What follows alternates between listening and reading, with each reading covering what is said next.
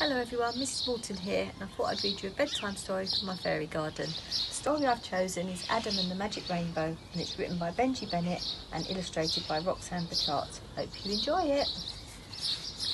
Hey everybody, Adam said, let's play dress up in our room. Molly, you can be the princess bride, and Robbie, you're the groom. Harry, you can be our mighty brave and noble knight, and I can be the wizard with a magic wand of light. Just as they started playing, Fluff flew up to their window Adam, he said, we need your help. Quick, we have to go. What is it? Adam said as he hopped up onto Fluff's back. It's the land of hugs and kisses. The wicked witch is back. Oh no. She took the hugs and kisses from the Hugs and Kisses fairy and she's too afraid to get them back because the witch is mean and scary. Oh dear, cried Adam. We'd better hurry, but how will we get there? Easy peasy, Fluff replied, with some magic from a rainbow and a lock of fairy hair. Fluff quickly zoomed into the sky at the speed of light to catch the magic rainbow and the fairies out that night. Just then, right out of nowhere, a secret path was cleared and the fairies cast their magic spell and a rainbow bridge appeared. Hold on tight, Adam screamed. Hold on with all your might. This will probably be our most important ever flight. When they arrived in Fairyland, something strange had happened. All their dress-up clothes became the best ones ever fashioned. Hey, Robbie, Robbie, look, Molly, I'm like a real princess. I know, said Robbie, you look so nice and what a lovely dress. Whoa, we look so cool, said Adam. But quick, we better hurry and find the Fairy Queen because we don't want her to worry. Off they set along a trail to find the Fairy Queen, and very soon they found the biggest castle ever seen. Hey, Robbie, Molly giggled. I'm glad we're so well dressed. If we're going to meet the Fairy Queen, we want to look our best. Shh, be very quiet, whispered Adam, or we'll scare the Queen away. Without her hugs and kisses, she could be shy and run away. Oh, poor little hugs and kisses fairy, Molly said. Come on, Molly, Harry said. The door is up ahead. They reached the fairy castle door and softly in they went and found the worried fairy queen in her magic fairy tent. Oh, Adam said the fairy queen, the world will never be the same. Children don't get a hug and a kiss and the witch is all to blame. We can help, said Bobby, can't we? We have a wizard and a knight. Surely we're brave enough to fight the witch tonight. You are, replied the fairy queen, but wear this by your chest. It holds some magic fairy dust to protect you on your quest. She gave them all a magic stone that felt as cold as snow now there's one last thing, she said, that you should know before you go. When you're safe, your wand will glow magnificently bright, but beware, when you're in danger, it will be dim and hardly light.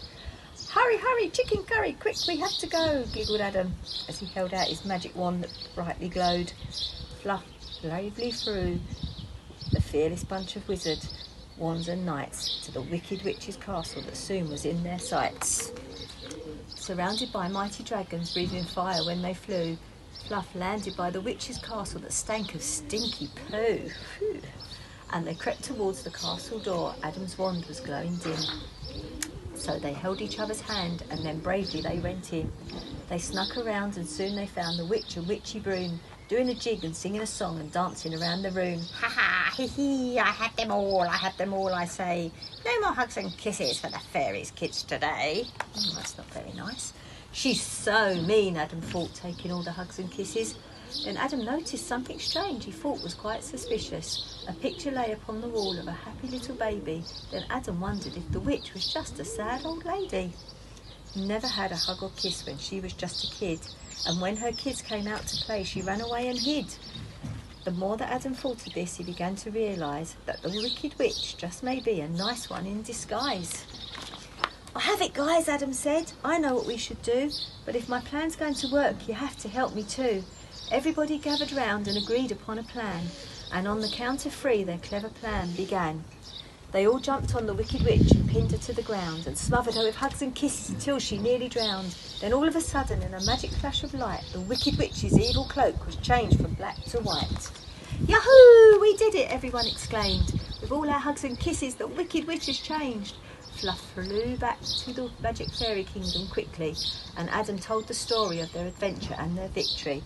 Oh, fairy queen, we were scared of the evil wicked witch but I knew a hug and kiss would make the good and bad witch switch.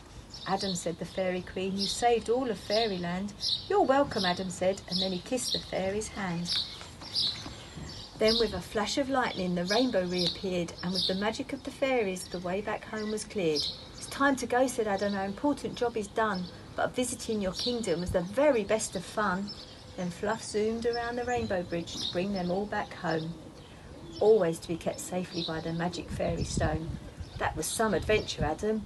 Harry yawned and said, and with that they all lay down and slept safely in their beds. It's time to sleep, my baby bell, safely under a fairy spell, filled with all my love hugs and kisses, sprinkled with magical, wonderful wishes. And that's the end of the story. Hope you enjoyed it. Night, night, sweet dreams.